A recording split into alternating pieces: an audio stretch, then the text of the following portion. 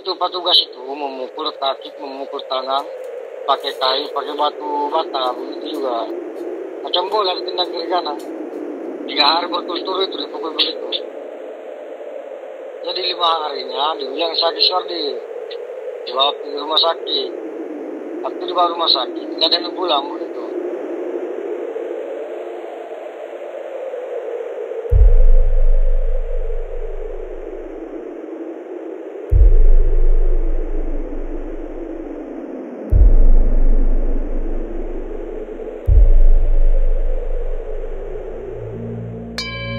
Namaku Mahmud, asalku dari Sulawesi. Aku pernah menjadi buruh migran tanpa dokumen di perkebunan sawit Malaysia.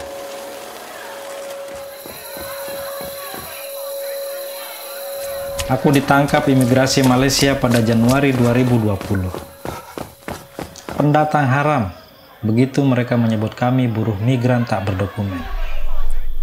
Ini kesaksian apa yang kualami saat ditahan di rumah detensi Sabah.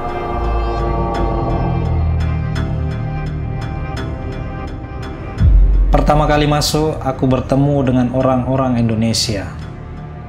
Wajah mereka kusam, matanya sayu, dan tubuhnya ceking. Sekujur tubuhnya dipenuhi kudis. Rupanya mereka tak mendapat makanan yang layak. Ikan yang isi perutnya tak dibuang dan piring yang kotor seperti tak pernah dicuci. Tapi, mau tak mau mereka harus memakannya. Di antara mereka lalu berkata, Kau tengoklah jatah makanan ini, binatang pun tak akan mau makannya. Suatu hari aku menyaksikan seorang tahanan di blok lelaki meninggal dunia karena sakit.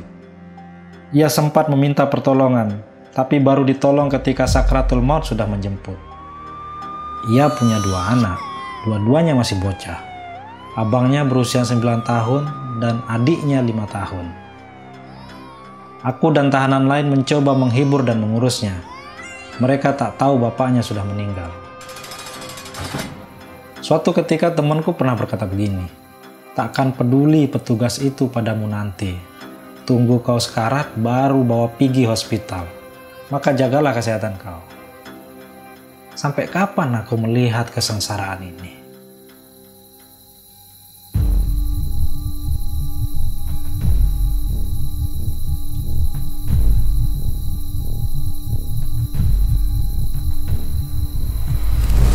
Kegaduhan itu dimulai menjelang subuh. Petugas membabi buta memukuli 10 orang tahanan. Mereka merintih kesakitan. Ada yang menangis mengalami pukulan. Suwardi tertangkap, teriak kawanku di satu blok. Suwardi yang kumaksud ialah teman sesama buruh migran yang tinggal satu daerah dengan di Sulawesi. Kasihan mereka itu dipukuli terus. Mereka sudah tak kuat menahan sakit. Tiga hari aku menyaksikan kekejaman itu. Setiap pagi mereka dikeluarkan dari sel isolasi dan disiksa di tengah lapangan. Lima hari setelahnya aku dengar Suwardi dibawa ke rumah sakit. Tak ada kabar lagi setelah itu.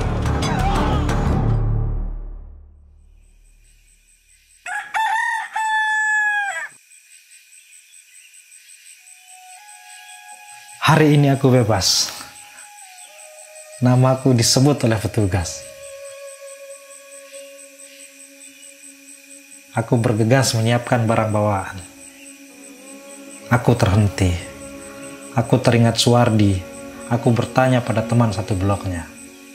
Suwardi ternyata sudah meninggal tak lama setelah ia mengalami penyiksaan.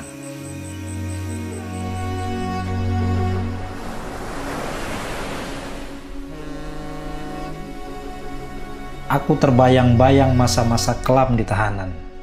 Bagaimana rasanya neraka? Aku kira aku telah melihatnya langsung.